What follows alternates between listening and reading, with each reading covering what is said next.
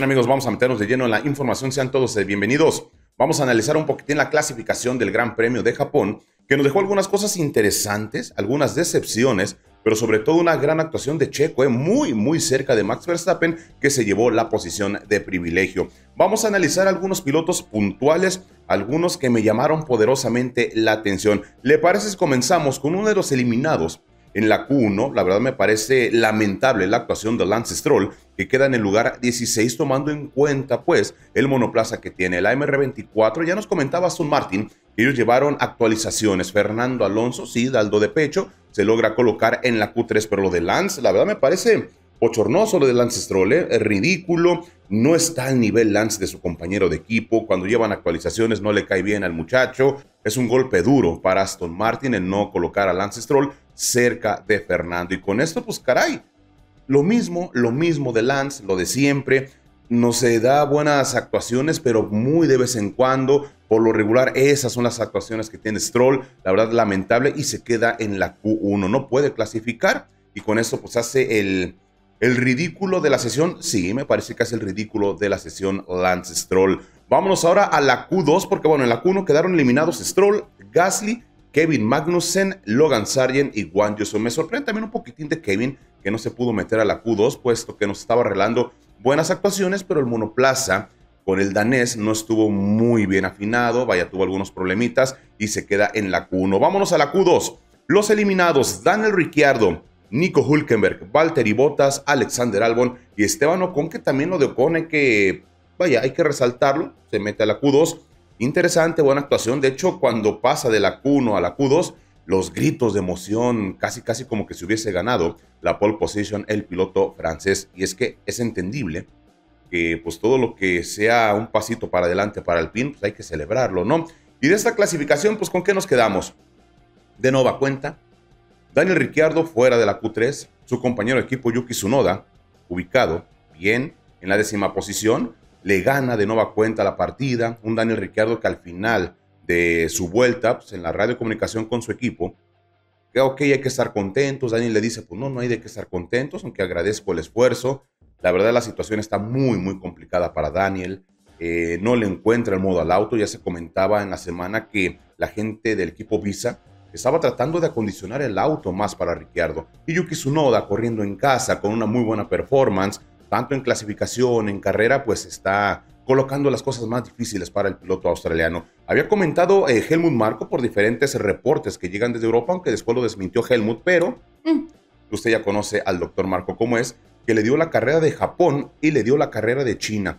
Tienes que levantar, tienes que levantar porque de lo contrario está Liam Lawson y a ver, la, gente de Fórmula 1 no, no son sordos, sordos, sordos, en verdad.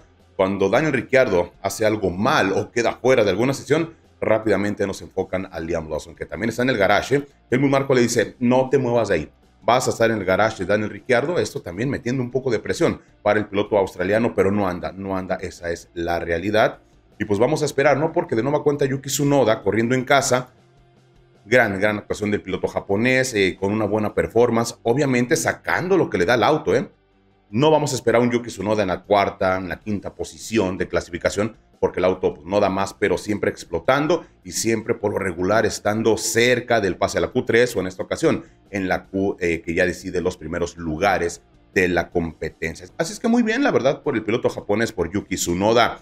Vámonos ya a la Q3, señores. Igual usted observa los resultados aquí en la pantalla. Vamos con Mercedes. Séptimo lugar para Hamilton, octavo lugar para George Russell, que por cierto lo de Russell, cuando sale de su garage y ahí se encuentra Oscar Piastri, una investigación y solamente una multa económica para George Russell, nada más. Muchas personas se han comentado qué diferencia hay con la maniobra de Sergio Pérez igual, en la cual fue sancionado el piloto mexicano. Bueno, fue en prácticas, fue en prácticas y así lo visualiza la gente de la FIA. Vaya usted a, saber, ya sabemos cómo, cómo miden, pero bueno, ellos se argumentan que son cuestiones diferentes, uno en práctica y el otro en competencia. Un Mercedes que nos da buenos resultados en las prácticas práctica 1, práctica 2 por lo regular, aunque en este Gran Premio la práctica 2 estuvo muy complicada por la lluvia. En la práctica 3, buenas sensaciones también para el W15. Pero ya en clasificación, cuando aceleran, se derrumba el auto. Se derrumba, de hecho Hamilton también argumentaba por la radio que de dónde está encontrando Verstappen ese tiempo, dónde ya no lo encuentra Hamilton.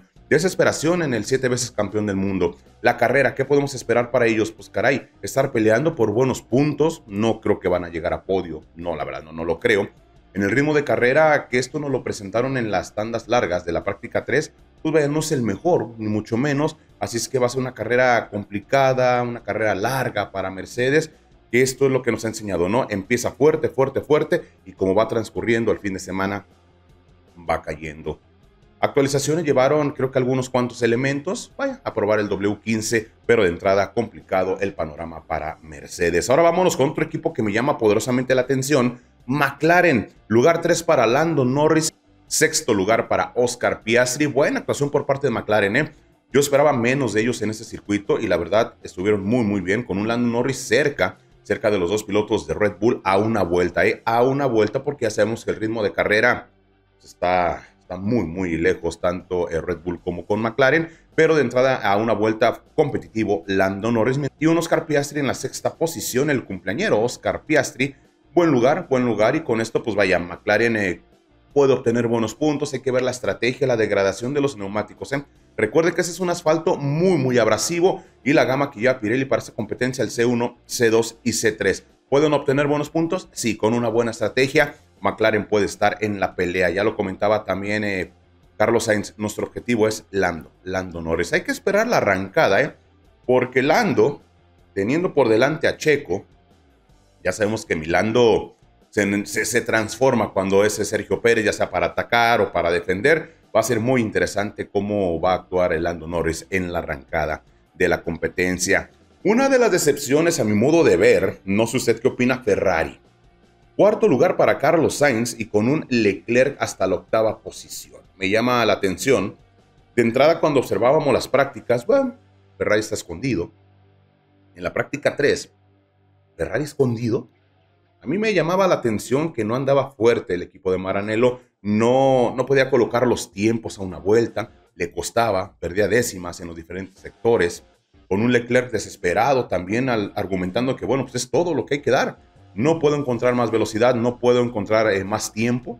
Y Leclerc hasta la octava posición. Y un Carlos Sainz que pues vaya siempre sacando agua de las piedras, dando la cara por Ferrari, una cuarta posición, pero ya argumentó en entrevista es muy complicado ir a pelear con los dos Red Bull, pero el objetivo de él es Lando Norris, el tercer lugar en el podio de triunfadores. Y con esto, pues eh, vaya, regresan las cosas a la normalidad, ¿no? Red Bull dominando, mientras que Ferrari, pues a sufrir, a sufrir en esta competencia. Con una buena estrategia, creo que los dos pilotos pueden obtener eh, puntos interesantes en este campeonato de constructores que está cerrado después de la competencia de Australia, aunque todo parece indicar que ya eh, todas las aguas están en su nivel.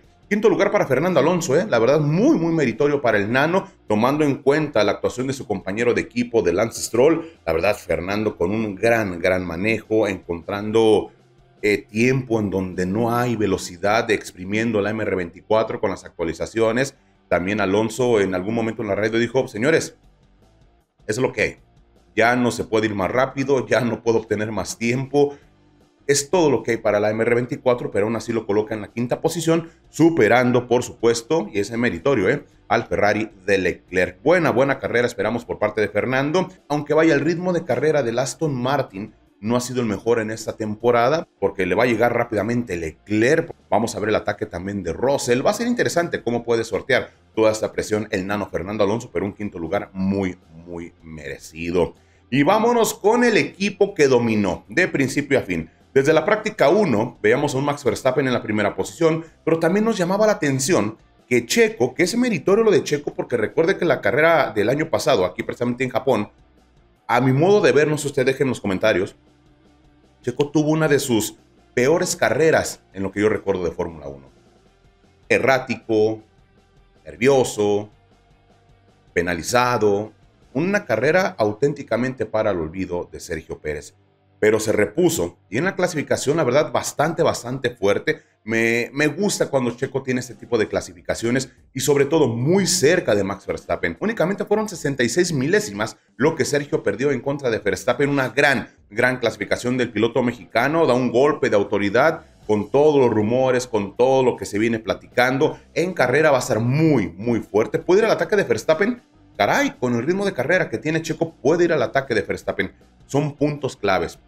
Largar, ponerte por delante de Verstappen y de ahí pues vamos a estar en la competencia. Es muy, muy complicado porque Verstappen también es de los pilotos que largan muy bien. Colocarte por detrás del piloto neerlandés, alguna buena estrategia. Vaya, vamos a tener una linda, linda pelea con los pilotos de Red Bull el día de mañana. Mientras que Verstappen en la pole position, una pole más para el piloto neerlandés. De hecho, me llama la atención y precisamente con los... Eh, con el crono de Sergio Pérez a 66 milésimas, ya le digo, aquí estamos observando precisamente la telemetría muy, muy calcada la línea del tiempo de Verstappen y de Checo. Me llama la atención que hasta el tercer sector, a mediados del tercer sector, Verstappen llevaba una diferencia de una décima y media aproximadamente, pero ya cuando llegamos a las últimas curvas del circuito, a la 15, a la 16, a la 17 es cuando Checo ya empieza a acelerar y sale mejor, sale mejor presionado el piloto mexicano y con eso se acerca a 66 milésimas una muy, muy buena vuelta por parte de Checo, que esto, la verdad, nos da mucho, mucho gusto, porque ¿qué es lo que siempre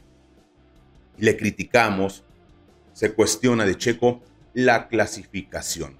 Y con estas cuales, pues caray, elogios por parte de Helmut, elogios también por parte de Christian Horner, que por cierto, dato interesante, cuando finaliza la sesión, Checo le dice a Horner, algo como de así es como me tendrías que motivar. Ya sabes cómo motivarme.